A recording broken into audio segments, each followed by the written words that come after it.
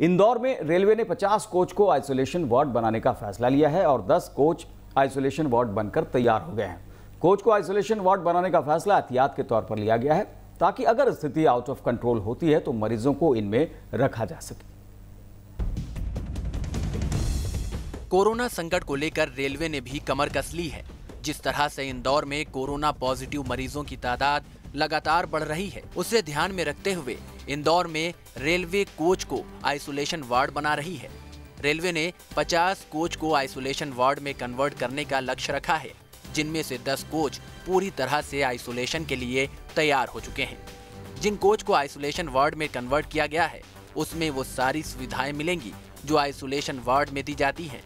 माननीय रेल मंत्री द्वारा ये निर्णय लिया गया है कि हम लोग अपने जो कोचों को भी आइसोलेशन वार्ड में कन्वर्ट करें, क्योंकि अगर मरीजों की तादाद बढ़ती है तो उनके लिए रुक, रखने के लिए हम लोग अपने आइसोलेशन वार्ड बना रहे हैं। और जो कोचेज़ हैं स्लीपर क्लास है और जनरल क्लास के जो कोचेज़ हैं, उनको हम लोग आइसोलेशन वार्ड में कन्वर्ट कर रहे हैं। उसके तहत रतला पश्चिम रेलवे के रतला मंडल ने ये करीब यहाँ कोचिंग डिपो है इंदौर में, और डॉक्टर अंबेडकर नगर कुल मिला के अस्सी कोच का प्लानिंग किया हुआ है। पचास हम लोग इंदौर में बना रहे हैं और तीस हम डॉक्टर अंबेडकर नगर महू में बना रहे हैं। हर डिब्बे के एक टॉयलेट को बाथरूम के रूप में तैयार किया गया है। कोच में ऑक्सीजन सिलेंडर के लिए क्लिप और बॉटल होल्डर लगाए गए हैं।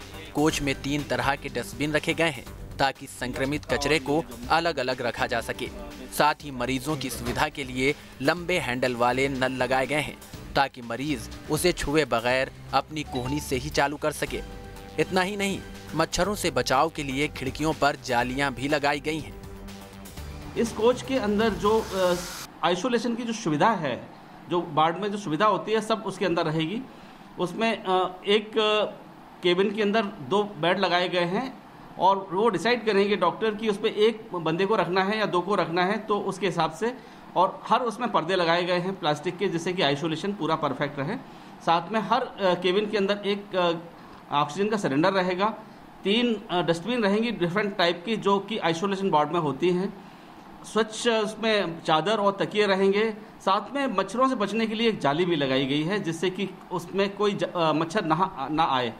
साथ में दोनों साइड में टॉयलेट की जगह एक, दो लेटरिन हुआ करती थी, उसमें एक लेटरिन को कन्वर्ट करते हुए इसको बाथरूम में कन्वर्ट किया है। तो एक बाथरूम और एक लेटरिन कोरोना के खिलाफ सरकार युद्ध स्तर पर तैयारियाँ कर रही है। अच्छी बात यही है, अच्छी बात यह है कि सीएम शिवराज सिंह चौहान पूरे हालात की खुद मॉनिटरिंग कर रहे हैं, लेकिन तमाम कोशिशों के बावजूद लगातार बढ़ रही मरीजों की संख्या चिंता का सबब बनी हुई है। Team, news state.